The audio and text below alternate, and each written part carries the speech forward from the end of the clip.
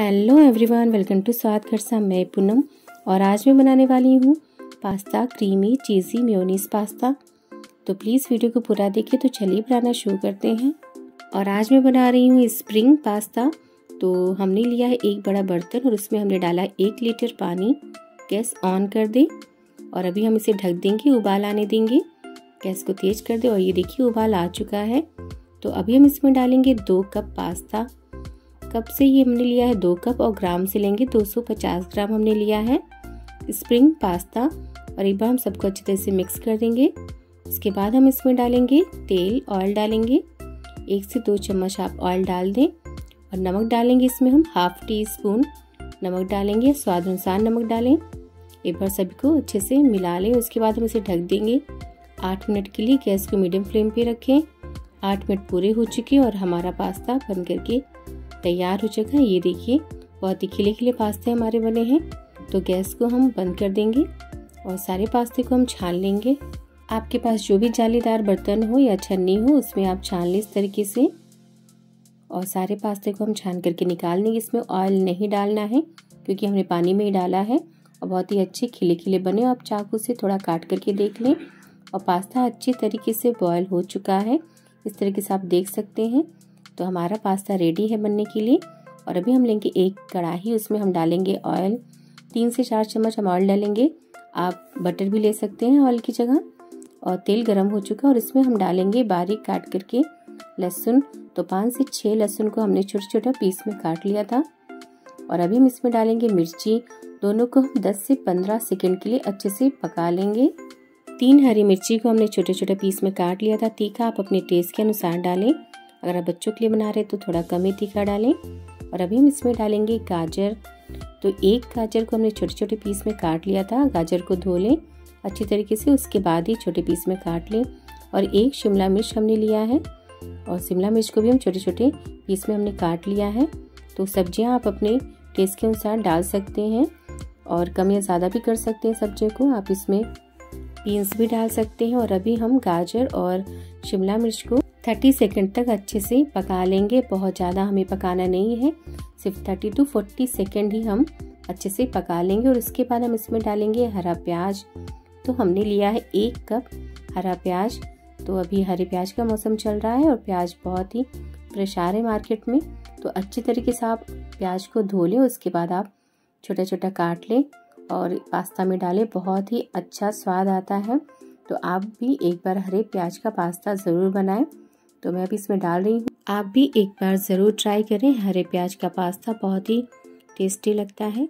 अगर आपको हरा प्याज नहीं मिलता है तो नॉर्मली जो आपको प्याज मिले तो आप एक प्याज ले लें और स्टार्टिंग में ही लहसुन के बाद आप प्याज को अच्छी तरीके से पका लें। उसके बाद सारे इंग्रेडिएंट्स को डालें।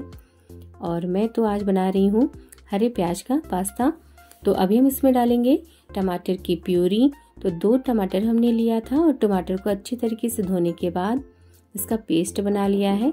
आप चाहे तो टमाटर को बारीक काट करके भी डाल सकते हैं। और मैंने आज प्यूरी डाला है तो इससे बहुत ही अच्छा ग्रेवी आता है पीस करके डालने से। तो सबको हम अच्छी तरीके से मिक्स कर लेंगे।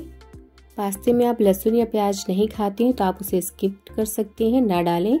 बिना लहसुन प्याज के भी बनाएँ। और अभी हम इसमें डालेंगे हाफ़ कप पानी। ये पास्ते का पानी है जो हमने पानी में उबाला था पास्ते को।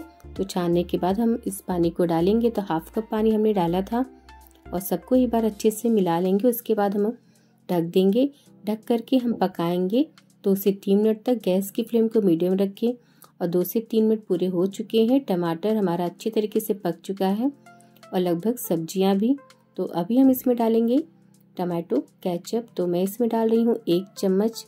आप एक से दो चम्मच भी डाल सकते हैं टमाटो केचप तो अभी हम इसमें डालेंगे चिली फिक्स ये हमने घर में बनाया है। आप लाल मिर्ची को मिक्सर ग्राइंडर में दरदरा पीस लें। एक छोटा चम्मच हमने डाला है चिली फिक्स और अभी हम इसमें डालेंगे एक छोटा चम्मच काली मिर्च का पाउडर। काली मिर्च को दरदरा पीस लें और डालें। और ये है मेयोनीज़। तो आज मैं पास्ते में डाल रही हूँ मेयोनीज़। ये मेयोनीज़ बहुत ही आसानी से मार्केट में मिल जाता है।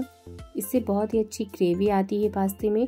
तो मैं इसमें डालूँगी टू टेबल स्पून अगर आपको मेयोनीज़ नहीं मिलती है तो घर की ताज़ा मलाई ले लें और दो से तीन चम्मच आप मलाई पास्ते में डालें।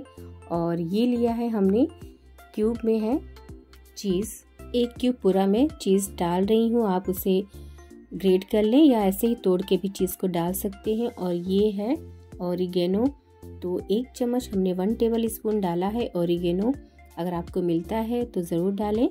वन टीस्पून नमक डालेंगे, स्वाद अनुसार पास्ते को बॉईल करते समय भी हमने नमक डाला था। इस चीज़ का आप ध्यान दें और सारे मसाले को अच्छे तरीके से मिक्स कर लें और तब हमारी ग्रेवी अच्छे तरीके से बन जाती है। आप बिना चीज़ के भी पास्ता बना सकते हैं। बहुत ही टेस्टी लगती है। ग्रेवी के लिए आप मलाई का यूज़ करें। उससे भी बहुत ही अच्छा पास्ता बनता है। ग्रेवीदार पास्ता बनेगा हमारा। और अगर आपको जब भी मिले, तब हरा प्याज के साथ ही पास्ता बनाएँ। और अभी हम सारे पास्ते को इसमें डाल देंगे, जो बॉईल करके हमने रखा था। और बस सबको हम अच्छे से मिला देंगे, सबको मिक्स कर लें। और हमारा टेस्टी पास्ता बन करके तैयार हो जाता है। पास्ता में मैंने जितने भी इंग्रेडिएंट्स डाले हैं, उनमें से अगर आपके पास जो ना हो, उसे आप स्किप कर दें। और जो आपके पास इंग्रेडिएंट्स हो, आप उसे ही डाल करके पास्ते को बनाएँ। और इसके ऊपर से हम थोड़ा सा और हरे प्याज को डालेंगे। ये देखिए, देखने में बहुत ही अच्छा लुक आता है। हरा प्याज से बहुत ही अच्छा टेस्ट और देखने में भी बहुत सुंदर लगता है। तो बस हमारा रेडी है पास्ता। प्लीज़ वीडियो को पूरा देखें और मुझे कमेंट करके बताएँ आपको मेरी रेसिपी कैसी लगी। रेडी है हमारा creamy, cheesy mayonnaise pasta. Thanks for watching मिलते हैं नेक्स्ट रेसिपी के साथ। तब तक लिए tata bye bye take care